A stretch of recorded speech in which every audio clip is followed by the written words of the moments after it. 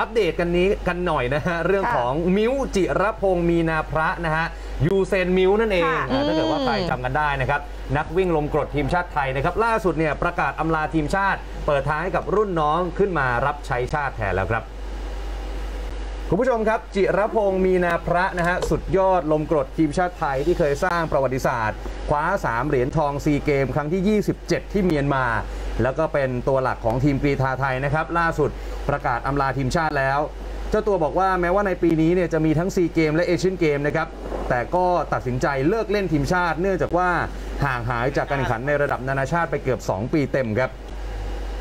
ยูเซนมิวบอกแบบนี้ฮะในช่วงโควิด -19 ที่ผ่านมาครับได้ห่างหายจากการฝึกซ้อมกับเพื่อนๆในทีมชาติ และถ้าเกิดว่าจะกลับไปวิ่ง 100 เมตร หรือว่า 200 เมตร มันเป็นเรื่องที่ยากมากๆ ในการรีดศักยภาพของตัวเอง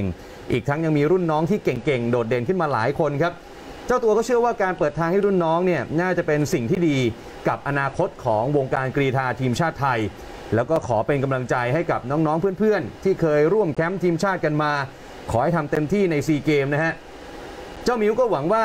ทุกคนเนี่ยจะป้องกันแชมป์วิ่ง4คูณ100 เมตรชายได้ ส่วนระยะ 100 เมตร หรือว่า 200 เมตร มิวก็เชื่อว่าไทยเนี่ยอาจจะกลับมามีรุ้นเหรียญทองอีกครั้ง หลังจากที่ใน 3 ครั้งหลังสุดนั้นไทยไม่ได้เหรียญทองนะครับ นอกจากนี้ครับยูเซนมิวยังบอกนะครับว่าถึงแม้ว่าจะไม่ได้เข้าร่วมแข่งขันในนามทีมชาติแล้ว แต่ก็ยังคงฝึกซ้อมอย่างต่อเนื่อง โดยขอมุ่งเป้าไปที่กีฬาแห่งชาติที่จังหวัดศรีสะเกดที่กำลังจะเกิดขึ้นนี้นะครับ โดยมิวเนี่ยจะลงเล่นให้กับกรุงเทพมหานครครับ และตั้งใจว่าจะวิ่งป้องกันแชมป์4คูณ100 เมตรให้ได้ครับเรามาจากเมืองไทยมาจากสำหรับปีนี้ก็จะมีซีเกมเอเชียนเกมซึ่งผมก็คิดว่าส่วนตัวผมคงไม่ได้เล่นแล้ว เพราะว่าก็เราห่างจากสนามมาก็ 2 ปีแล้ว ถามว่ายังซ้อมอยู่ไหมก็ซ้อมครับ เพราะว่าจะต้องแข่งกีฬาให้กองทัพ แล้วก็แข่งกีฬาแห่งชาติในปีนี้ที่ศรีสะเกดแต่ทั้งนี้ทั้งนั้นผมคิดว่า การห่างการห่างสนามโดยที่ไม่ได้ซ้อมอย่างต่อเนื่อง เหมือนเพื่อนๆ หรือว่าน้องๆที่ซ้อมอยู่ในสมาคม ถ้าจะให้ผมไปวิ่งร้อยเมตรเดียว หรือว่าไปคัดอาจจะไม่ใช่เรื่องง่าย ในกีฬาแห่งชาติสำหรับผมมันเป็นกีฬาที่น่าภาคภูมิใจนะครับ เพราะว่าเราต้องเข้าใจว่ามันไม่ใช่เป็นแชมเปี้ยนชิพมันเป็นกีฬามหากรรมที่ทุกประเภทกีฬาได้มาแข่งขัน ถ้าเปรียบเทียบในอาเซียนก็เหมือนซีเกมซึ่งมันจะรู้สึกว่าถ้า ใครได้เหรียญทองหรือว่าเอ่อเป็นหนึ่งในกีฬาประเภทนั้นๆ ก็จะรู้สึกนี่ฮะคุณคุณผู้ชมครับจิรพงศ์มีนาพระนี่ฮะเราพาไปย้อนดูกันสักนิดนึงนะฮะฉายาที่แฟนๆกีฬาไทยรู้จักกันดีก็คือยูเซนมิวนั่นเองนะครับค่ะสร้างชื่อให้กับตัวเองมากที่สุดก็คือการแข่งขันซีเกมครั้งที่27 ที่ประเทศเมียนมา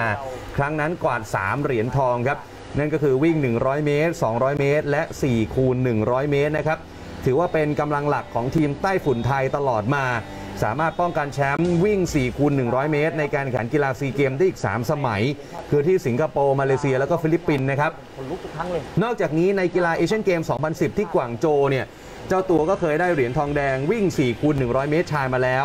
เอกลักษณ์ที่แฟน ๆ กีฬาจะคุ้นเคย ของมิวจิระพงศ์ก็คือ เวลาเข้าเส้นชัยเนี่ยค่ะเขาก็จะทำท่าสายฟ้าแบบยูเซนโบลต์นักวิ่งเจ้าของเหรียญทองโอลิมปิกจากจาเมกานั่นเองเขาก็เลยได้ฉายาเป็นยูเซนมิวค่ะนะฮะเจ้าตัวเนี่ยตอนนี้ปัจจุบันอายุ 28 ปีนะครับ อำลาทีมชาติไปก็ไม่เป็นไรนะครับอืมก็รอลุ้นให้กำลังใจเจ้าตัวกันต่อในการแข่งขันกีฬาแห่งชาติต่อไปที่ศรีสะเกษนะฮะ ค่ะค่ะ แล้วก็หลังจากนี้ก็เดี๋ยวรอติดตามผลงานเพิ่มเติม แล้วก็เส้นทางหลังจากที่อำลาไปแล้วเนี่ยจะไปทำอะไรต่อ จะก้าวขึ้นมาดูแลน้องๆไหมอืมเออผลักดันน้องๆกันต่อไปไหมนะคะ เดี๋ยวอัปเดตกันแน่นอนค่ะคุณสามารถติดตามรับชมช่อง T Sport 7กดเลข7ทุกกล่องดิจิ ตอนทีวีและกล่องดาวเทียม PSI GMMZ IPM InfoSat ThaiSat IdeaSat